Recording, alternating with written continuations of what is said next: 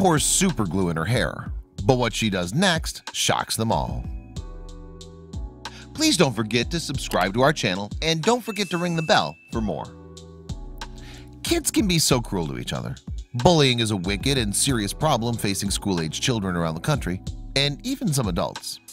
Hannah Combs age 15 was talking with her friends outside of Harker Heights High School when a boy ran up behind her and poured super glue in her hair The only punishment the boy received was an in-school suspension.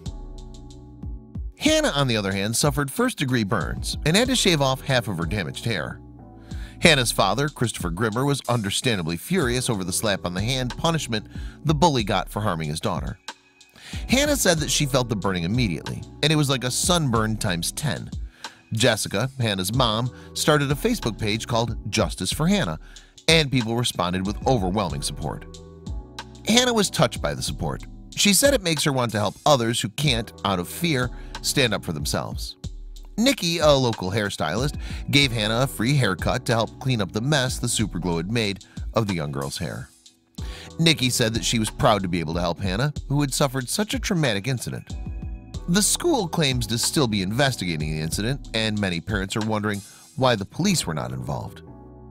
If this boy is already capable of hurting people now what will he be like in five to ten years? Something more needs to be done to this boy and the in-school suspension is not justice. Share away people